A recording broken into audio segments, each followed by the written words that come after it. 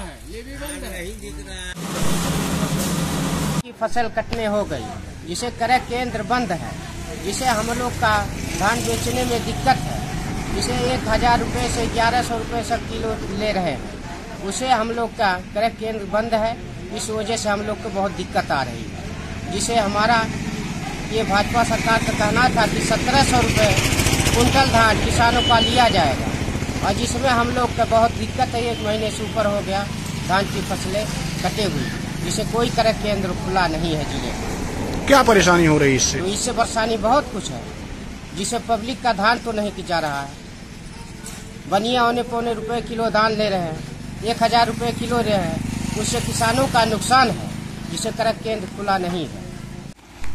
धान देखिए जो है आपके सामने पड़ा हुआ है। बनिया कह रहा है कि हम जो है हज़ार पाँच सौ रुपया लेंगे। ले भी एक भी नहीं चल रहा है कि एक अक्टूबर से चालू होने वाला था। अब बताइए हम लोग कहाँ जो है धान बेचे? किसान की जो है दुर्गत है ये। हम लोग की एक गाड़ी कमाई थी। सरकार के पे जो कोनो मनसा नहीं साफ़ दिखाई देता है कि जो धान खरीद जाए नहीं खरीद जाए। क्या दिक्कतें आ रही हैं? आप लोगों को धान नहीं खरीद हो रही है। सेंटर है नहीं खुला है को। अभी हमारे बगल में खुलने वाला था वो भी नहीं खुला है कटाई में।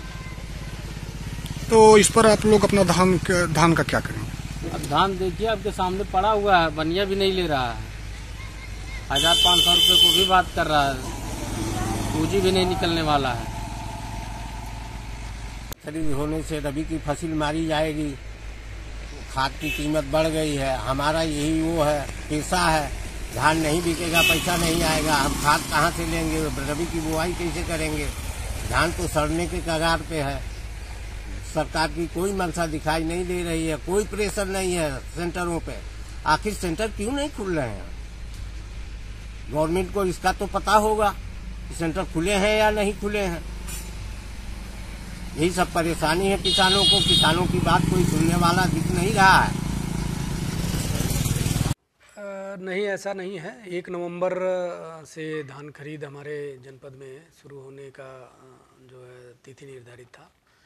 और उसमें से चूँकि जो सचिव वगैरह हैं, ये हड़ताल पर चल रहे थे तो उनके केवल केंद्र, जो तीस केंद्र हैं, वो प्रभावित थे।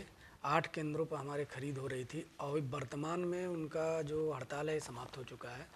और इसमें हमारे पास पंद्रह सेंटर, जो पीसीएफ के जो लोग हड़ताल थे, वो भी खरीद हुई है। और आठ सेंटर जो हमारे खाद्य विभाग के हैं और एक एक गुरु का है। इन तीनों पर खरीद हो रही है। अभी वर्तमान में हमारा एक सौ अठहत्तर मीट्रिक टन खरीद हो चुका है, ये 20 तारीख तक। और इसको हम लोग जो हमारा लक्ष्य है, लक्ष्य की जो लक्ष्य हमारा पैंतालीस हज़ार मीट्रिक टन है, इसको हम लोग पूर्ण करने का पूरा प्रयास भी करेंगे और करेंगे भी।